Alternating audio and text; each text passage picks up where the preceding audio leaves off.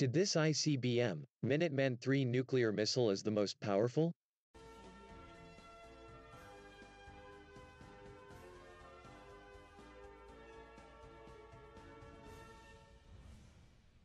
The LGM-30G Minuteman III is a three-stage, solid-fueled, intercontinental range ballistic missile.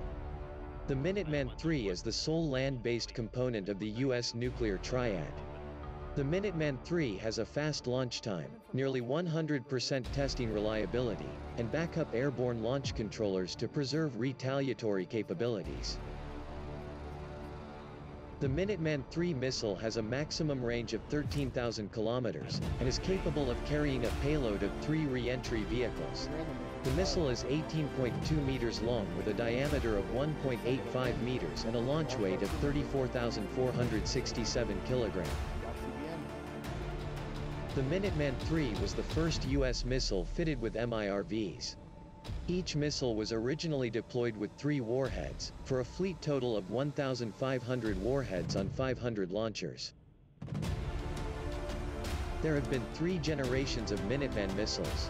The Minuteman I was first deployed in 1962.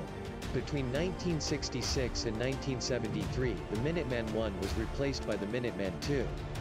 The Minuteman III began development in 1964 and entered service in 1970 with a force of 550 missiles.